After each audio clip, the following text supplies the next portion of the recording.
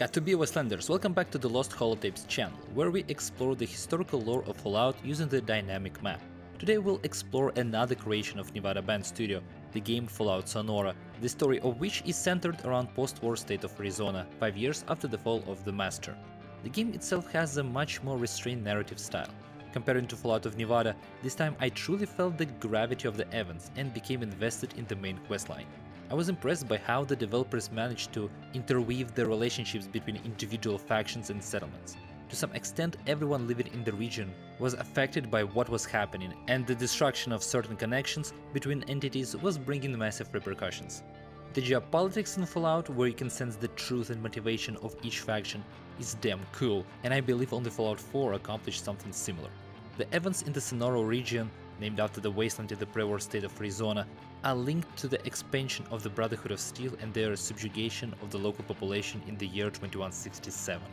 We will also explore events described in the Dayglow expansion, even though geographically San Diego is located in the New California wasteland and its history should be associated with the episode dedicated to Fallout 2. If you enjoy the series, don't forget to like, subscribe, leave a comment, that will help a lot in the channel growth. Alright, hop on the vertibird and don't forget your sunscreen, we are flying to Arizona. As always, let's begin with an overview of the region's geography. According to the game map, the Sonora wasteland is truly vast. It stretches in a square shape, encompassing half of the Sonora state in Mexico and a significant portion of the Baja California peninsula, while in the USA it occupies the lion's share of Arizona. Sonora is the first wasteland to occupy the territory of another country, besides the USA. To adhere to some sort of natural geographical boundaries, the wasteland is bounded to the north by the Grand Canyon, bordering the Utah wasteland, and to the west by the Colorado River, separating it from the Mojave and New California. At the moment, the wasteland cannot be fully divided into distinct subregions, but we can identify the following. Baja California, located on the territory of the eponymous peninsula. Sonora Desert, occupying the southern part of the wasteland and serving as a natural divider from the Mexican wastelands. Havasu is the area around the eponymous lake on the border of the wastelands. The lore associated with this place was introduced in the narrative mod Havasu Blues for Fallout New Vegas, so we will delve into it in a separate episode. Sierra Madre, an isolated section of the territory bordering the Grand Canyon, housing a pre-war resort complex of the same name, surrounded by toxic gas. The exact location of Sierra Madre is unknown, but let's say it's somewhere around here. I don't think old pal Elijah dragged the courier across the entire wasteland. Let's start the exploration of the lore with uh, the Vault-Tec vaults. In Sonora there are plenty of them. Vault 20 is located in Tucson. As part of the experiment, the influence of a certain virus called Trans-D9-THC was researched, which infected the air, food and water. Vault 25 is situated within the city limits of Phoenix, Arizona, in its northern part. Its design capacity is 450 people. The vault was intended to remain active for 15 years, after which it was expected to open. Vault 26 is located west of Phoenix. Vault 27 is located north of Phoenix. As part of the experiment, according to the Fallout Bible, the vault was populated with 2,000 people, twice the intended capacity. The vault deliberately had a Mexican population, which caused racial tensions in the overcrowded shelter. However, despite the belief that the strong overcrowding was due to the Mexicans, their percentage was actually only 15%. Vault 42 located in Glendale, Arizona had no light bulbs with a voltage exceeding 40. Vault 43 in Mesa, Arizona was settled with 20 men, 10 women and 1 panther as part of the experiment. The purpose of the experiment remains somewhat obscure, to say the least. Vault 45, situated in Surprise, Arizona, had its floors constantly coated with a lubricant that prevented the residents from walking normally, causing them to only slide if they managed to push off from something. Vault 47 in Sahuarita, Arizona, had its residents raised under a Boy Scout training program. Consequently, the adult inhabitants of the vault were disciplined and possessed all the necessary knowledge and skills for surviving in the wasteland.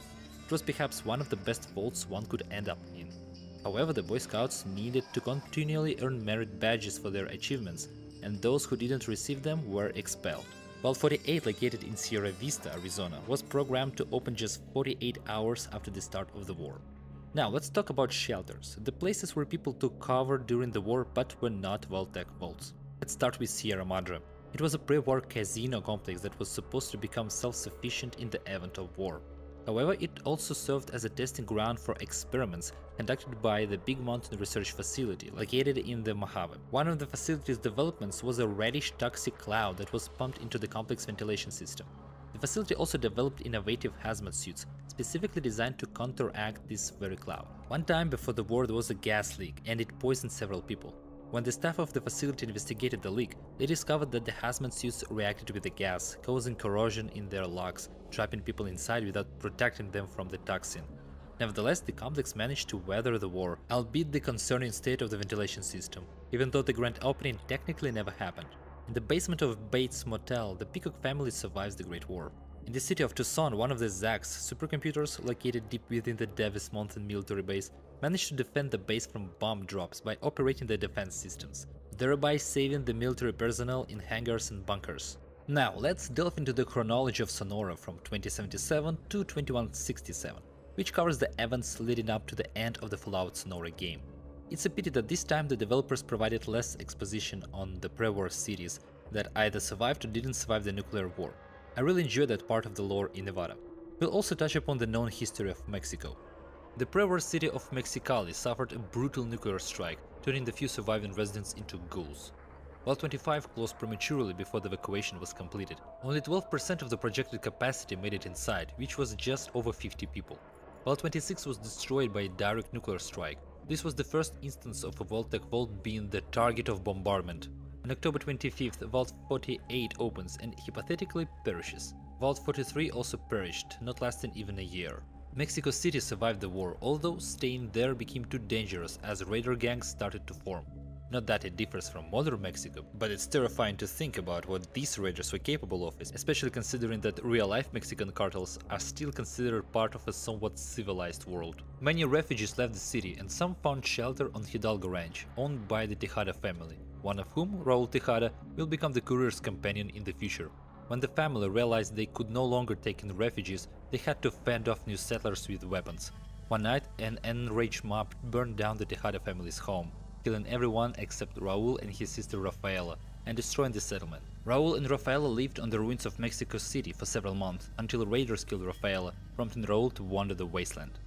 Over the following long and hungry years, the Peacock family at Bates Motel descended into cannibalism, hunting down unsuspecting travelers, as a result of the generational carousel of incest, the family transformed into hideous mutants.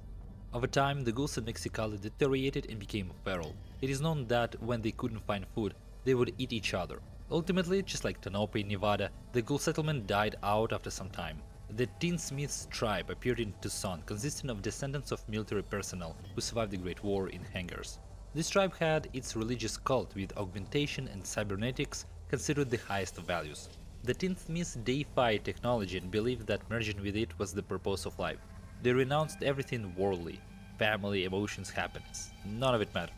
Davis Mountain Air Force Base, which was used as a site for decommissioned weapons and airplanes before the war, enticed the Tinsmiths with its treasures but also rendered inapproachable, as the ZAX supercomputer at the heart of the complex guarded the territory with robots. The Tinsmiths referred to the base as the Forbidden Zone, and regularly sent captured slaves there to try their luck and bring back something valuable, although very few succeeded. No doubt it would have been a great mistake to miss such an opportunity to incorporate into Fallout lore such a military landmark. In the 80s, the ventilation system of Sierra Madre finally failed, releasing all the stored toxin into the atmosphere, covering the area with a poisonous reddish haze. Those who managed to put on hazmat suits became trapped inside. They mutated internally, their consciousness deteriorating but becoming virtually immortal. As a result, the entire society within the complex devolved into a tribe of foolish, aggressive mutants who would become the sole inhabitants of this cursed place for centuries to come. The rare wanderers who visited Sierra Madre and survived to tell the tale would call them ghost people. The history of Vault 27 is provided in quite detail. On February 7, 2078, the first murder of a Mexican occurred in the vault. On December 11th of 2082, the water and electricity supply in the vault was reduced the educational and entertainment sections were closed. Rationing began, leading to frequent conflicts and fights, which caused the medical section to become overcrowded. On January 2, 2083, an American was murdered in Vault 27, leading to the lynching of the Mexican by the residents. One of the inhabitants, Zachary Taylor, a veteran of the Battle of Anchorage, starts a riot and gathers followers in an attempt to evict the Mexicans. On March 13 of 2084, a civil war breaks out in Vault 27 A group of rebels seizes the water purification facility. Taylor's supporters storm it and massacre the rebels. The defeated rebels are lynched by the victors. On December 16th of the same year, the Overseer further reduces the water and food supply in Vault 27. Taylor believes he can manage the vault better and kills the Overseer in his sleep, seizing power by force. On August 24, 2091, for the past 7 years, Vault 27 has been under Taylor's dictatorship. Thanks to his iron-fisted rule, order and discipline are maintained in the vault. However, not everyone is content with the prospect of spending their lives underground. Among the survivors, suggestions to venture to the surface begin to circulate. January 18 of 2092, due to sabotage, the gear doors are opened in Vault 27, and the reconnaissance group heads into the wasteland, bringing back news of destroyed cities and contaminated radiation-ridden territory. However, on March 22nd, a group led by Felix Tejada, carrying a GECK, fights their way to the vault's exit and disappears into the night of the wasteland. Left without GECK, the vault dwellers are doomed, so some of them evacuate and settle in the outskirts of Phoenix. Afterward, Taylor seals the gear door, walling himself in with the remaining small group, destined to spend their days in the cold concrete corridors with dwindling supplies of water and food. Vault 25 was supposed to open this year according to the plan, but the opening never happened. San Brahmin, a settlement and gathering place for the Yavapai tribe, was formed through the recent unification of four independent tribes. The Indians revered and considered Brahmins sacred, but like Indians from India, engaged in cattle herding. San Brahmin was important for the region as it was the main supplier of meat to nearby towns. In 2093, Felix Tejada and his group, heading west, founded the village of Villa near the small pre-war town of Oatman on the border of the Mojave Wasteland. Using the GECK, they established maize plantations and hid all the available technology in a cave and cellars, forbidding their use for generations to come, as technology is considered a danger to be feared like fire. Based on one of the groups that left Vault 25, the Black Vultures tribe is formed, settling in the city of Yuma, Arizona. In the Fallout New California lore, Vault 15 is mentioned because it doesn't account for the lore of Fallout Sonora. Here we can adapt the lore slightly. Survivors of Vault 27 were in complete despair. In 2094, Taylor initiated the self-destruction procedure of the vault, including the dispersal of a toxin. The people managed to partially block the ventilation, but it didn't help them. Some people died while others transformed into deranged mutant ghosts capable of entering decades-long hibernation. This is very similar to the effect of the red mist in Sierra Madre, Perhaps Vault 27 also conducted experiments with the red gas, who knows, but it could have been a cool connection to the can. It is unlikely that the city of Flagstaff survived the bombings, as it is known that there was a tribe in the area that only existed for three generations, so they appeared around 2100 to give or take a few years. By 2137, the Arizona Rangers slash Desert Rangers appeared and established a base at Parker Dam on the Colorado River. They had similar goals and policies to Wind of War, which involved protecting the locals in exchange for crops and recruits. However, their implementation was clearly better than the Wind's. Although many didn't support them, considering them useless like the Wind, and believed they only drained settlements, some Wastelanders still believed in them and sought refuge under their wing. In 2142, a group of jackals exiled by the Huns from California settled in the northern region, making their homes in dugout burrows and tunnels called Jackal's Holes. In Fallout Sonora their image changed somewhat. They were already savages, but they managed to become even more feral. They considered themselves as a pack, organized hunts for humans to devour and perform bloody sacrifices. Nevertheless, both in Sonora and other lore sources, it is indicated that the Jackals is more a conglomeration of tribes. They seem to constantly split into separate independent packs, roaming the wastelands. 2152, a group of nomads crossed the Sonoran Desert. At some point they attracted the hungry eyes of the Deathclaw known as El Diablo, who began to pursue them, periodically snatching away their livestock and careless shepherds. The nomads couldn't fight it, but El Diablo protected their herd of people from raiders and other threatening creatures. Eventually, at the suggestion of the Elder, the nomads began to philosophically view this relationship, believing that El Diablo was protecting them and making them treat each other kindly in exchange for food. They considered it a divine manifestation, in the end, they fed El Diablo their entire livestock, old and sick members, and settled in the city of Santa Ana, founding a new settlement. Since then, they lived harmoniously and caring towards each other. However, to maintain their power and traditions, Elder lobbied for the idea of raising a portion of children exclusively for the annual sacrifice to El Diablo, accompanied by a city-wide festival. By 2160, Cult of Fire emerged in Phoenix, created by descendants of pre-war scientists. They believed that the war was a purification for humanity, in 2160, shortly before the events of Fallout 1, the Brotherhood of Steel establishes an outpost that essentially becomes the base of its Arizona chapter in Puerto Penasco, a small Mexican port town on the shore of Wagner Bay. To be more precise, they set up the base on the Found Destroyer, which they sailed from California. The leadership of the chapter was under High Paladin General Dixon, who I assume was required to wear aviators and a peaked cap with his epaulets. Under his leadership, this cell of the Brotherhood became something of an electro-weaver. Despite the devastating war against the Master's army, by 2167 they had achieved incredible power in the region. But in 2160 they immediately went as a delegation to Phoenix, forming an alliance along the way with the tinsmiths of Tucson, who saw them as gods and gladly became their vassals.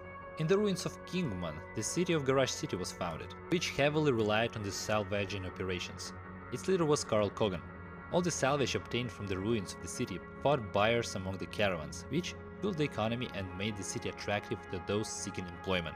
In 2161, the Brotherhood of Steel subjugates the cult of fire, organizing the ascent of their man, Aaron, to a leadership position. The Brotherhood realized that to achieve their goals, they needed to build infrastructure and address the shortage of labor. Compared to California, Sonora region lagged far behind in social and technological development. Life was boiling, kinda, but only in Phoenix. The Brotherhood understood that enforcing technological progress on the region by brandishing a plasma rifle was akin to American colonizer approaching Native Americans with a brochure advertising a new resort called Reservation. At the same time, directly seizing the region by force would lead to a war that would consume resources rather than generate them in a few years. They needed a more cunning solution. The Master's example provided them with an answer the use of a puppet religious faction. This is where the cult of fire came into play. With the anointed Aaron, the cult changed its policy, focusing on the rebirth of civilization through its followers and the eradication of heretics, meaning people who didn't recognize the religion. The Tinsmiths also formed an alliance with the cult, although they didn't yet know that the cult was already subservient to the Brotherhood faction. In the same year 2161, the Brotherhood founded the town of Casanueva, which was supposed to provide them with food from a farm. Casanueva was a city with a stern character. No alcohol, entertainment, or weapons were allowed, and the curfew was enforced. Basically, it was a civil colony. The Brotherhood also brought a small expedition of the followers of the Apocalypse. The followers established a school and a medical center in Casanueva and restored a local research complex, Greenway Hydroponics, where they were conducting some botanical experiments. In 2161, caravans began passing through the abundant pre-war city of Casa Grande, eventually organizing a camp there between Phoenix and Tucson. Soon the place gradually became settled. The residents asked the tinsmiths to restore an old water pump in exchange for children, which tinsmiths demanded to raise new acolytes. At the behest of the Brotherhood, the cult began its expansion in the region and engaged in active propaganda activities. The cult financed a colonial expedition to the city of Flagstaff, a city of interest to the Brotherhood due to its uranium mine. Led by Roy Faber, the colonizers founded the city of Flagpole, displacing the tribe that lived there, whose remnants periodically muttered something behind fences and poked sticks at the farmers on the outskirts of the city. Both mining the mine and developing other infrastructure required a large number of slaves. The Lost Hills bunker, the headquarters of the Brotherhood, categorically disapproved of such methods in Dixon's mission, but with the impending war against the Master, Lost Hills had more pressing matters to attend to. Moreover, Dixon was too far away for him to be concerned about the leadership's opinion. He made decisions here and now because, in the end, Lost Hills also received a portion of uranium from Flagpole, so why complain? Another group consisting of super mutants and remnants of the cathedral after its destruction in the graveyard arrived in Mexicali, where they settled. However, due to radiation in the city and the proximity to the West-Tek base emitting FEV, the people mutated into ghouls and other mutants.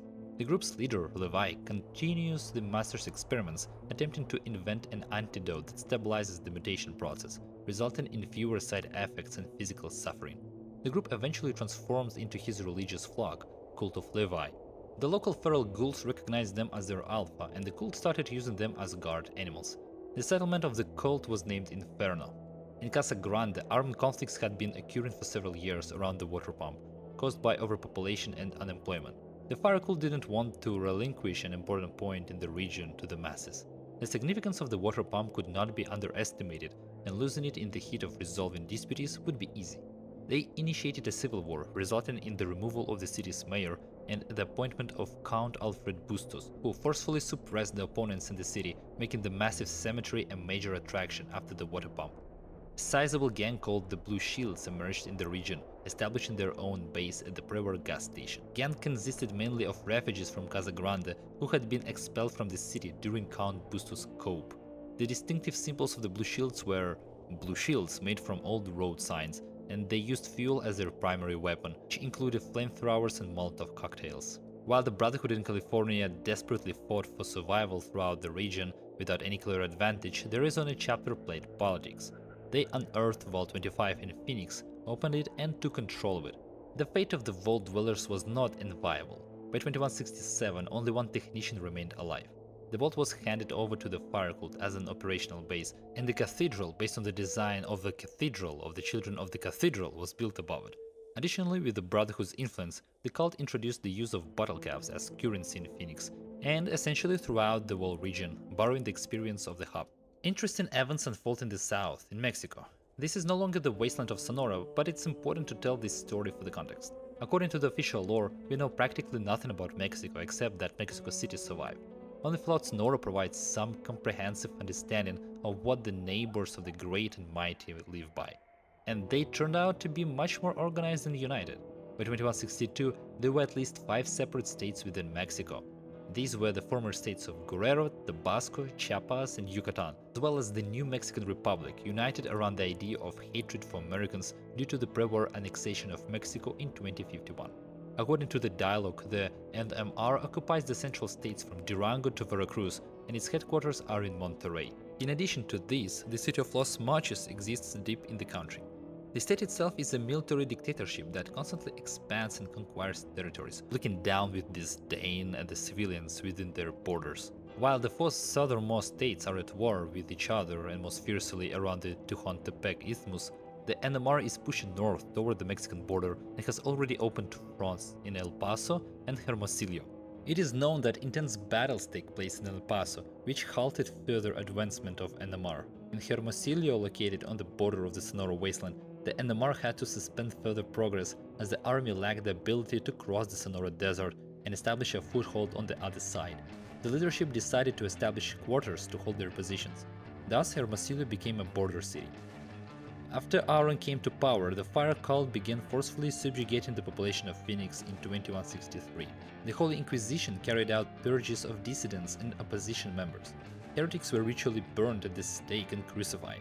The city was experiencing a famine at the time, so not many opposed getting rid of extra mouths. On August 16, 2163, a group of ghouls migrating east after the fall of Necropolis formed the Atomists faction and settled in Phoenix at the old Poseidon power plant. On August 17th, a treaty was signed between the Fire Cult and the Atomists, who restored the functionality of the power plant and were able to provide the city with energy. Ideally, this date should have been pushed back a bit, but well, it is what it is. In 2164, during the Great Supermutant Migration provoked by the destruction of the Master, one of the groups left Mariposa on a mobile fortress and headed for Texas. One might assume that this group is Attis group, but their leader was referred to as Captain, while Attis was a Scottish general. I will grant myself freedom of stating that this group is the group, introduced in Fallout 1.5 and which will end up in New Mexico in 2170. It is highly doubtful that three large super mutant groups, all coming from Mariposa in almost a straight line and at the same time, would not intersect and merge into one. Two groups is enough. I believe that such a combination of two pieces of lore is quite organic. In 2166, Garage City faced significant problems. Kingman started to exhaust its potential for scavenging. There was a shortage of work, nothing to sell to the caravans, and people began to become overpourished, leading to marginalization or migration to other settlements. By 2167, a livestock camp called Winona was established on the site of the pre-war settlement of the same name, which supplied Flagpole with Brahmin meat. A small town named San Felipe was founded in Baja California by a group of people traveling on a small vessel. The Sonora Express mail service appeared in the region with branches in Flagpole and Phoenix. Over these years, the fire cult was indeed involved in the revival of civilization. Although it was not their initial goal, it became a side effect of the Brotherhood's intervention in the archaic way of life of the local population. Indeed, the cult collected samples of old technology, books and other sources of knowledge, educated the population, attempted to establish control over food centers for uninterrupted food supply to settlements, built infrastructure, conducted experiments in scientific research, and carried out monetary reforms. The only unclear thing is why they created a nuclear bomb in Vault 25 at the request of Brotherhood of Steel, but it was definitely not for benevolent purposes. The Red Cardinals gang emerged in Phoenix Bandit District, referencing the city's football team. Nameless raiders established a base in Caborca and in the mountains of Gila County, as well as a small camp in Pima County. Another gang operating in the region is Los Panchos. Near the Parker Dam, settlers seeking protection from the Rangers created the town of Aqueduct on the site of the pre-war city of Havasu Spring and set up farms. By 2167, the Rangers were led by Commander Burton Mossman. The fire cult came to the ruins of pre-war city of Quartzsite under the guise of colonies to establish a branch in western Sonora. The settlement is called Quartz. The town of Gila Bend was mentioned, but by 2167 it had been abandoned. In Phoenix, a resistance guerrilla cell known as the Phoenix Liberation Party emerged, engaging in sabotage against the Fire Cult and attempting to destroy or at least weaken them. They were based in the Phoenix sewers and allied with the Rangers. The presence of the new Mexican Republic did not go unnoticed. The Brotherhood of Steel discovered a potential enemy and established an outpost in the city of Nogales, on the border with the Sonora Desert, to control possible advances by the Mexican army. Fire Cult took a strong interest in San Brahmin, they wanted to subjugate the tribe to control meat production and supply. They set up a missionary camp just by the settlement's entrance and tried different approaches to get under the tribe's skin.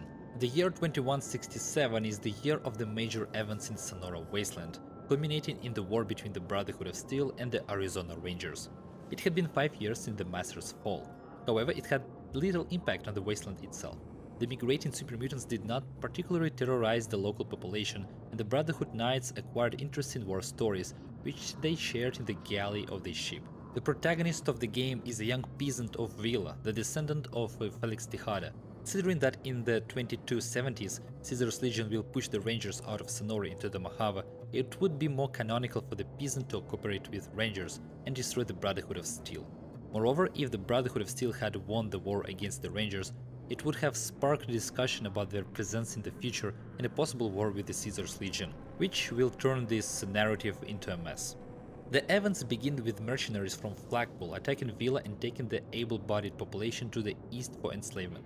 Those who resisted were executed. Meanwhile, the peasant was wandering somewhere in the wasteland and returned just after the attack. Following the clues, he sets out to pursue the convoy, visiting various settlements along the way. Following the mercenaries' trail, the peasant arrives at the nearest town, Garage City, where he receives a lead on Flagpole. However, he stays in the city for a while and helps mediate negotiations between Lucas, the leader of the scavengers, and Carl Kogan. The city was dying and Lucas seized the Watts Electronics factory, which had not yet been dismantled. He planned to repair it so that it could generate power and help the city survive its existential crisis. The question was delicate because if Carl agreed, it would disrupt the anti-monopoly balance among the scavenger clans, and he would lose his authoritarian rule. Meanwhile, the Fire Cult sends an expedition to Vault 27 for archaeological excavations. However, the expedition faces a series of failures. First, the slaves escape, then ghost mutants attack the group and kill several members. Some of them go missing in the tunnels, and eventually the expedition is abandoned and the members leave. Jackals attack a group of rangers and wipe them out. With the help of the peasant, the rangers infiltrate Jackal's holes and they wipe out the tribe of savages, freeing their comrades from captivity. Other peasant heads towards Flagpole, and a named tribe attacks Winona camp and slaughters all its workers. In Flagpole, thanks to his expert diplomacy skill, the peasant saves some of his fellow tribesmen from Roy Faber's control. At the Battender's request, the peasant also destroys a tribe which took over Winona. Next, the peasant establishes contact with the rangers from Parker Dam, and presenting himself in San Brahmin, helps the Native Americans resist the armed missionaries from Phoenix who set up camp near the gate. These missionaries attempted to entice the younger generation of the tribe with goods and ideas of complete consolidation for a better future. But in the end, the tribe, along with the rangers and the peasant, launches an attack and banishes the unwanted guests from their territory. The fire cult in Quartz uncovers some radioactive stuff at the Petrochico gas station and get fairly ghoulified. In Phoenix itself, the peasants' arrival does not bode well for some factions. Firstly, the peasant becomes involved in a sabotage struggle between the Red Cardinals and the Atomists, resulting in the destruction of the gang. Furthermore, collaborating with the partisans, the peasant detonates a nuclear bomb in the cathedral, destroying the fire cult. The northern part of the city is destroyed and the cult's demise leads to social changes. The caps system collapsed and they began to be eradicated like trash. People armed with pitchforks started to attack and lynch cult members they managed to capture. The Blue Shields attack Casagrande and capture Busto's daughter. The peasant manages to save her and destroys the shields, blowing up their fuel tank. In Santa Ana, a coup takes place, the Elder is removed and El Diablo is killed. In Tucson, the peasant rescues his father and the remaining members of his village from the Forbidden Zone. He also disables some of the security protocols of the Zax. What a skilled IT specialist was born in that remote village. Senior, no doubt. As for the tinsmiths, they weren't too upset about the downfall of the fire cult. In Casanueva, a small problem arises. Followers of the apocalypse were experimenting with chemicals in their biolab, and they accidentally synthesized a virus that turned people into plant-like mutants from the Mojave. The infection began to spread towards the settlement through praying mantises, and some of the residents became infected. However, the city's leadership forces everyone to keep silent to avoid creating panic. The followers themselves are afraid to evacuate the city to prevent the raiders from coming and spreading the infection further into the wasteland. With the peasants' help, they manage to destroy the source of infection. A Brotherhood squad with followers sets out from California to Puerto Penasco. They decide to go through Inferno, where they end up ambushed by ghouls. Almost entire group is wiped out, some hide and others are taken captive. The peasant helps in the liberation of the unfortunate travelers by offering assistance to Levi in inventing an antidote, although he himself becomes a ghoul. In Tucson, a gang of escaped slaves emerges, led by an undercover ranger, Jeff Kidder. He uses the slave gang to undermine the tinsmith's reputation by plundering caravans. The gang hides in the Old Town Bank building. The peasant convinces them to simply leave the city since the sun is preparing an attack, and the slaves are too weak to withstand a siege. They leave and disappear into the wasteland. The Brotherhood seeks revenge on a group of unnamed highwaymen who robbed their caravan. They establish a field camp and organize attacks on raiders at the Pima County camp, the base in Caborca, and the base in the Gila Caves. Along the way, while completing various side quests, the peasant destroys a family of mutants at Bates Motel, the Lost Panchos gang, and breaks the mobile fortress of the super mutants, forcing them to continue to New Mexico on foot. The peasant had to decide which side of the conflict to take, which fate was close to him a villager in a loincloth or a system administrator at Google. As mentioned before in this story, the Rangers' side was chosen. Gathering back people from the captivity, Villa wants to form an alliance with the Rangers for their own safety but to do so, their opponents had to be eliminated. The peasant sneaks onto a destroyer and activates the sequence for the delayed torpedo detonation.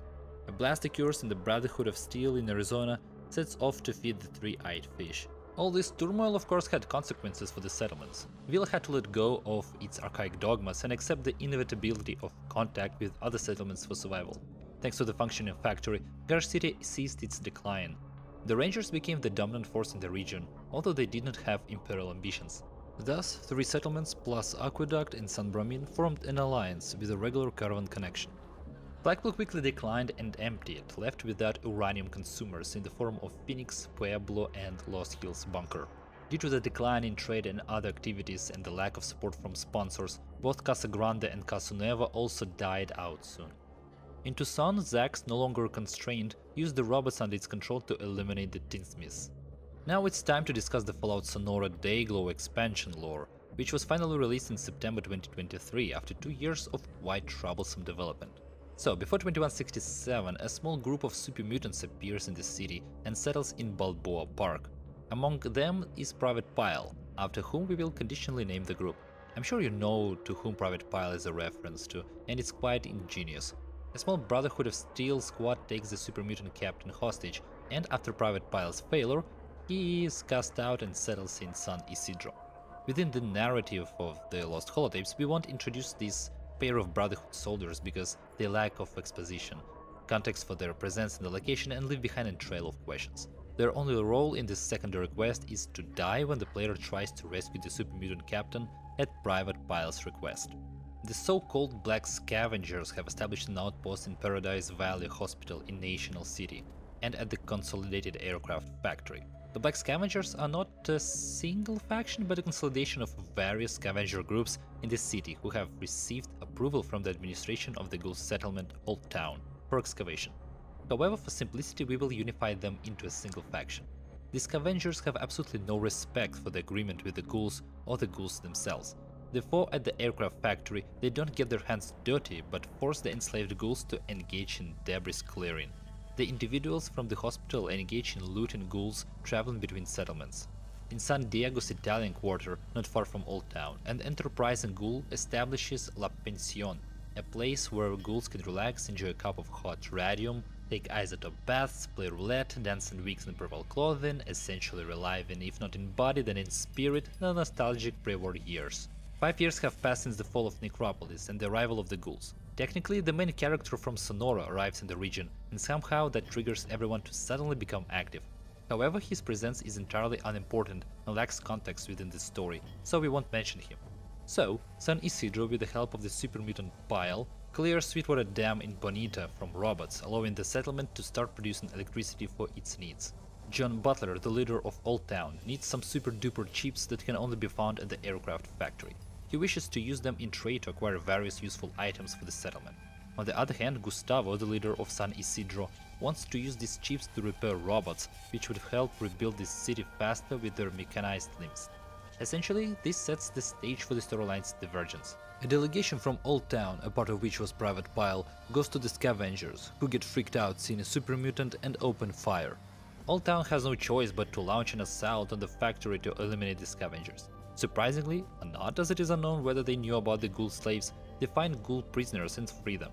San Isidro in turn wipes out a group of scavengers in the hospital in response to their looting and torture of hostages.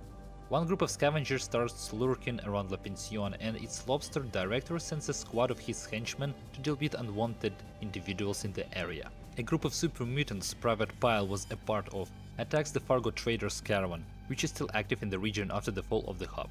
Old Town had to rescue the Fargo traders secretly and without bloodshed by discreetly removing them from the besieged warehouse. The super mutants frustrated leave to the east, possibly joining Attis. It is important to clarify that both the Fargo traders and the Black Scavengers are representatives of the hub, with which Old Town conducts business. The hub was destroyed and then rebuilt around 2170, only according to the lore of Fallout 1.5, which is not considered in Fallout Sonora lore. However, choosing between rewriting the lore of Fallout 1.5 and the convention that the Fargo traders are based not in the hub, but for example in the Boneyard or Junktown, I'll choose the latter. Ghouls on the coast are drooling looking at Coronado Island because who knows what treasures the military base keeps in its bowels. San Isidro sends a squad to obtain weapons, protection and other goods. The ghouls and Pile disable the alarm system, thereby neutralizing the robots patrolling the base. Upon returning to the coast, this squad is attacked by a group from Old Town, which claim the base contents. A shootout occurs which can be considered a turning point in the relationship between the two settlements. Now they no longer cooperate but compete for living space.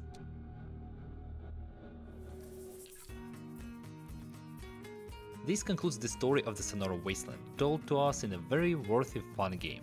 However, it only ends at the moment of 2167. It will be picked up in the future by Van Buren, Fallout New California and Fallout New Vegas, so we will return here in future episodes. I'm sure it will be interesting to think about how the surviving settlements and factions will encounter Caesar's Legion in the future. Once again I remind you, don't forget to like, subscribe and leave a comment, if you enjoy this narrative of course. This will greatly help in developing this project. And that's all for today, try not to press big red buttons on destroyers, and we will meet again in the Wasteland Wanderers. Fishers out!